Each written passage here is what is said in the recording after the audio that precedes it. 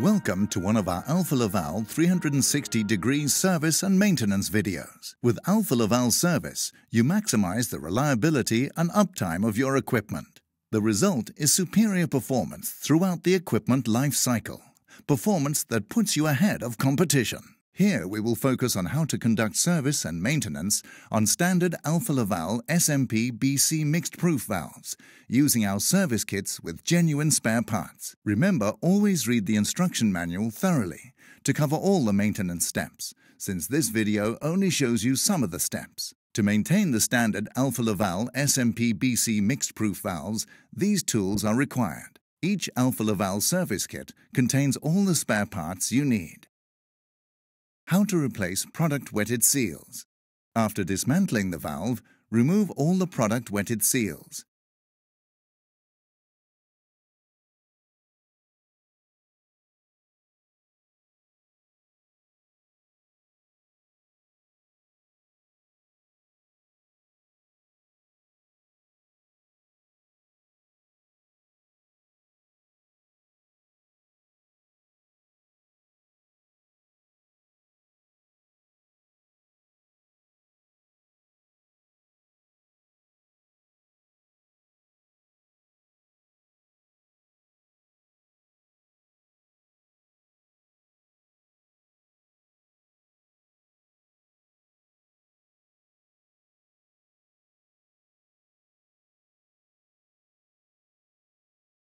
Then replace the seals, starting with a large plug seal.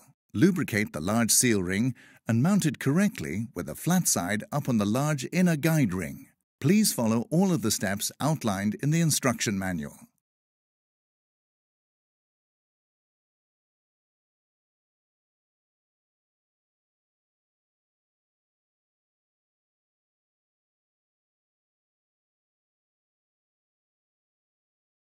Place the plug tool housing on the drill column or in a hydraulic press.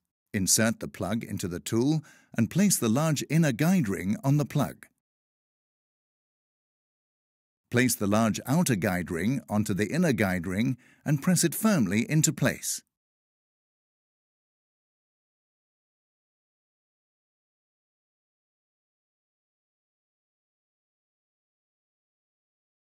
Use the pin to lift the inner guide ring.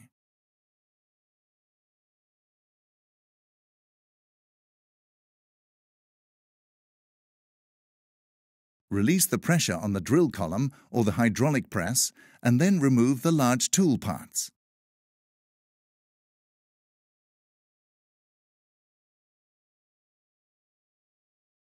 Take the small seal ring and lubricate it. Then mount it with the flat side up onto the small inner guide ring. Please follow all the steps outlined in the instruction manual. Place the support tool onto the plug tool housing when the plug is in place. Place the small inner guide ring on top of the support tool and the outer small guide. Press down firmly. Then use the pin to lift the small inner guide.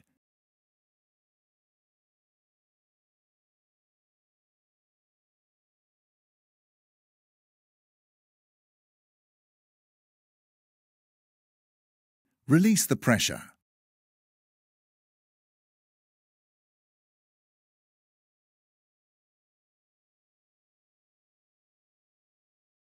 Remove the plug from the tool and remember to release any trapped air from the backside of the plug seals with a small screwdriver.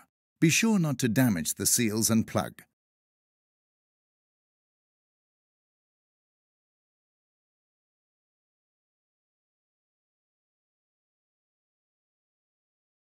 Lubricate and replace the O-rings on the CIP detecting valve.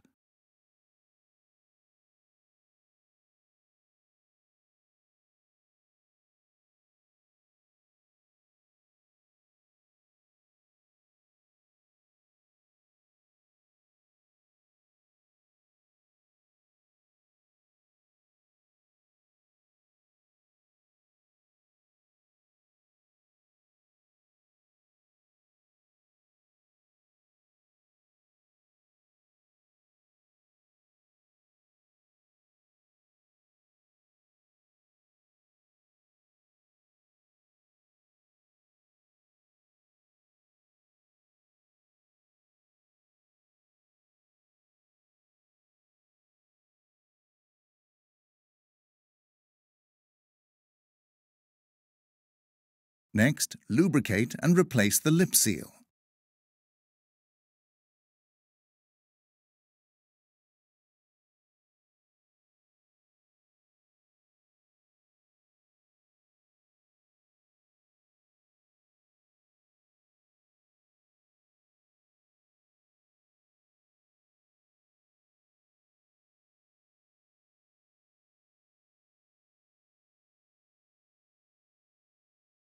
Be sure to position the body seal correctly and then reassemble the valve.